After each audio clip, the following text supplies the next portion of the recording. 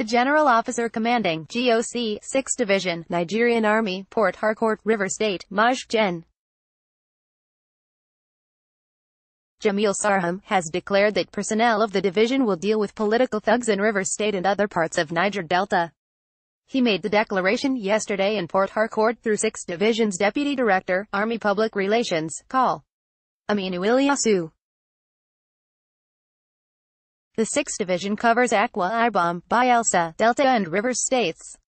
The GOC said, credible intelligence available to Headquarters 6th Division, Nigerian Army has uncovered an unholy plan by some political actors within its area of responsibility, AOR, to arm and sponsor miscreants, in addition to using military-like fatigue dress for deception to cause pandemonium at polling stations for their political gain.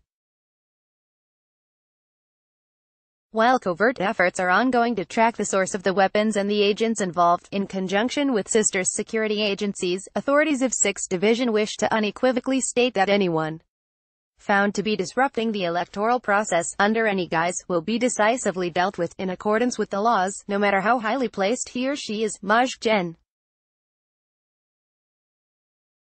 Sarham also reassured the good people of Niger Delta of providing adequate security, in conjunction with other security agencies, before, during and after this year's general elections.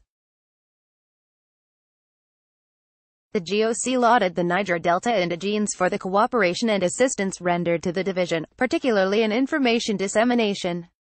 He urged them to do more.